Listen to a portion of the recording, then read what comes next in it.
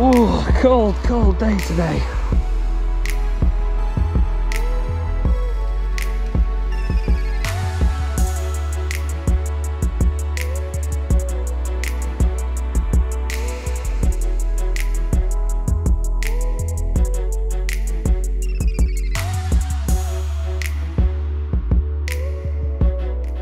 Now then, and welcome back to another episode of Adventure Fishing UK. Today I am fishing a private farm stream, and look at it, it's snowy. What an absolute result that is. So I have actually been quite lucky with how I'm able to fish this spot in particular.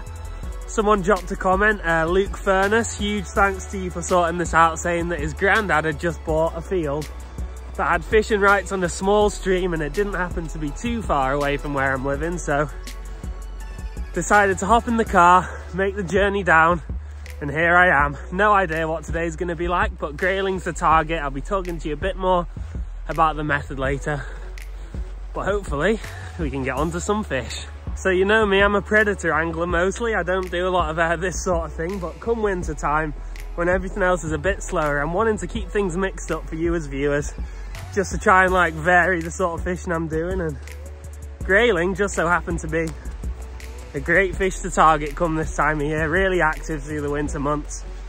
So hopefully we're gonna have a good day's fishing today. I mean, it could go either way. Also chance of a good chub today or a few trout, but we will try and avoid that where possible because they are out of season. So without further ado, let's get cracking. So I've just walked most of the length of this stream. Really important thing to do if you're fishing somewhere new, just to identify your target points. And this here is where I'm going to start. We've got a little back eddy coming off a little channel on the other side where the water seems to be flowing almost the other direction. Looks a bit deeper. And hopefully that's where there's going to be some fish sat. As always with this sort of fishing, getting a good bit of ground bait in is very important. Little and often is what I go for, but don't take my word for it trying to get some maggots now, right the way over into the, the far side. Benefit of wellies is you can take a few you can take a few steps into the water and just make sure your positioning's bob on. There we go. We're in and we're fishing. So that first spot, I have to admit I was struggling to hold bottom with any of my weights. I've only brought up to 15 grams, which is a mistake. So I have sort of clipped two of them together to try and give me a bit more. But it still wasn't working in that fast flow, so I'm just heading down to a nice little bit by a bridge that looks a lot more slow, a lot deeper, and hopefully I'll have a better chance there. So I have my first little cast here now. I'd say I've got reasonably high hopes for this stretch just by this bridge. It is deep, deeper than I thought it was when I first got here. And I've even got a little rod rest. Perfect. Now we wait. So, so far today I'm actually finding this really difficult to fish because there's quite a long deep stretch here and not really knowing where the fish are when I'm ledgering. It can be tough to get going. I do wish I had a float trot and setup, but I'm fairly incompetent when it comes to tying float rigs. I've tried before and it's never gone well for me, so just going to keep persevering. But I think fishing stationary in a place like this is not going to be easy. So the rod I'm using today is a bit different. This is the Rigged and Ready X5 Adventure. We've got the RR3000 fixed ball spinning reel on there too. And the main difference today is I'm using a quiver tip. Now this actually comes with it along with the fly fishing tip and the lure fishing tips. This is extra sensitive so you can see even the smallest bites but there's my rod down there. And we've just got it tucked behind this big branch. There's like a slightly slower bit of water coming in there. That's sort of where I've got my bait at the moment. And of course, a trusty pinch of maggots. Let's go. Something just happened. My rod just moved ever so slightly. I don't know if it was the current or a little knock but I'm poised and ready. I hope it was a little knock. It'd be the first sign of fish we've had all day. plenty of maggots. Let's really get these fish feeding. There must be fish in here somewhere. There must be.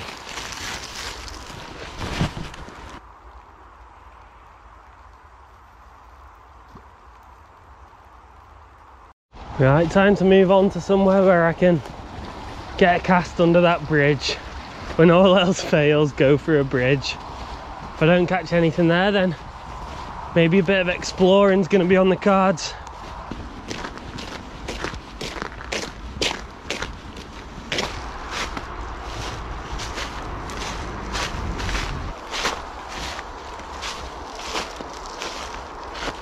Right, so we're at the bridge now. It is quite shallow in the middle, but it looks like as it sort of hugs the middle pillar, that it deepens. Got no idea how this is going to go, but we'll start just at the top.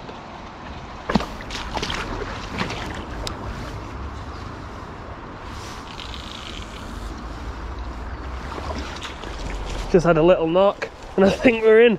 Sorry I missed the strike. It seems like a small fish though. Don't know what it is, I'm not seeing it just yet, but I'm hoping it's a grayling.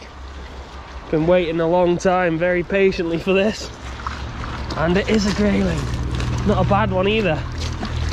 And we've got it, come on, get in. So look at this for an absolutely stunning fish.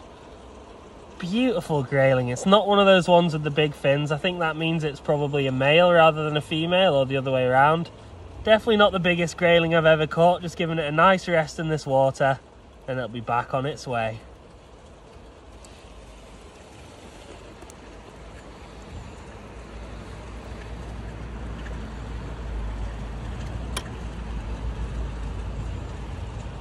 Off it goes, just chilling in that current. Well, it has not been an easy day's fishing so far, but I am so thrilled to be just getting a fish on the bank not the biggest grayling ever, but it's a target species. At least it wasn't a trout, so pleased. So I thought I'd just take this moment to give you a quick tutorial. Now, if you know anything about coarse fishing, do not listen to me here. The way I like to do things is I like to find a really easy way to do it, and then I can share for you guys that don't know how to fish in a particular way how to do it. So this is the easiest way you can rig this up. I didn't know how to do it myself until, I don't know, a couple months ago, but I'll just show you some of the things you need to do this. So you need some weights, I like to use the flat-sided weights, but anything works really. This is 15 gram. You'll also need some size 16 completely barbless hooks. It's so important when you're fishing for grayling because they can take them quite deep. And you'll also need some simple ledger stops. So for this rig, all you do is you thread your weight or weights in this instance onto your line. Then you put your ledger stop, which is just a little thing you thread onto the line and then you poke a matching bit through just to secure it. And then you just tie your hook, barbless hook, onto the end of this line. So I'm just having another cast now, right back into where I just was. Now I get most of my fishing stuff from Gerry, so if you nip into there, you'll find Gerry's and Morecambe, the fishing shop. You'll find everything you need to set up a rig like this. But I will stress, if you know anything about coarse fishing, then don't listen to me. This is just a bare bones, simple as possible way to catch grayling on a river.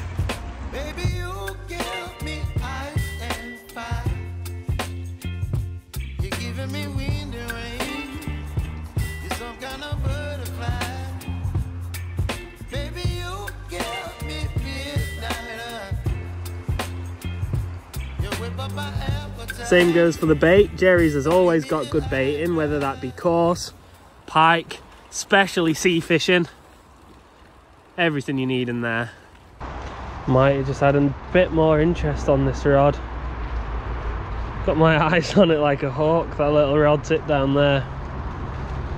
Could have just been a leaf or something floating down the water though, didn't look like a big bite. Sort of difficult to work out where the best place is to put this bait because normally when you fish places like this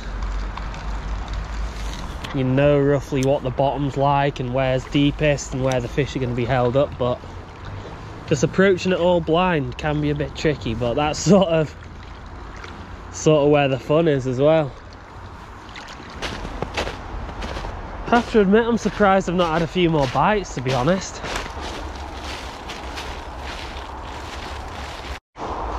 So just found what looks like another nice little back eddy sort of thing. Pretty deep too. Looks like good sort of grayling ground to me.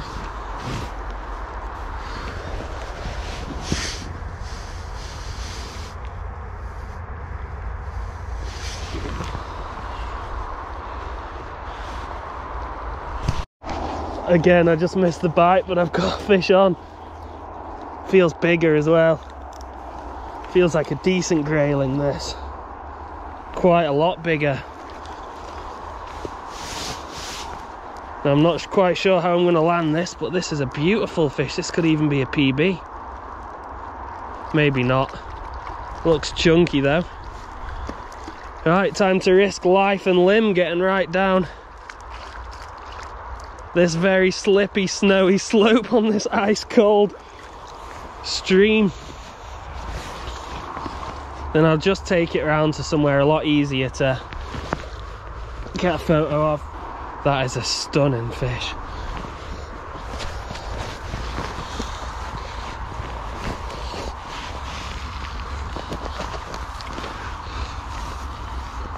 Oh god. This is difficult, look at my hands. Oh, cold, cold day today. Perfect grayling weather. What an absolute beauty that is. Come here. Got it, yes. Get in. So this is a PB grayling right here. Just giving it a really long rest, just so you can see it close up. Then I'm just going to take out the water for a very quick picture and then we'll get it off on its way. Look at this for an absolute beauty of a grayling. These fish are just something else. I can't believe I've just come here and caught that. What a majestic fish. The lady of the stream. to be honest. I am nothing short of shocked after that. Coming to this, well, I suppose it doesn't look very small there, but in general, quite a small farm stream. And we have just caught my biggest ever grayling. Lost for words, I mean. Did not expect that to happen today. I've not done that much grayling fishing in the past, so I suppose a fish of about a pound and a half, maybe. Maybe not an achievement to some, but to me, that's made my day that has made my day. If you're enjoying this video so far, please don't forget to hit that subscribe button. Really appreciate everyone that joins the Adventure Fishing UK journey. Hit that like button too and drop a comment and I'll get back to you as soon as I can. Could have found myself seriously in the drink then. That wouldn't have been good. But what a beautiful day. Nice snow underfoot. Nice crunch. There's even a hammock there. I mean, it's looking a bit worse for wear. I don't fancy a lounge in that. Gotta be the world's least appealing looking hammock, that.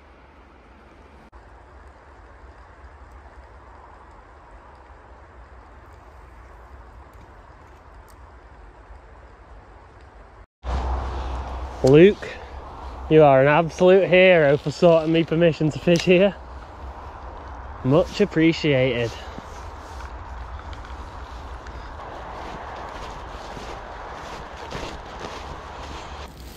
Always got to tip your leftover bait, don't you? And today happens to be quite a lot. Going to be some very happy grayling downstream, isn't there?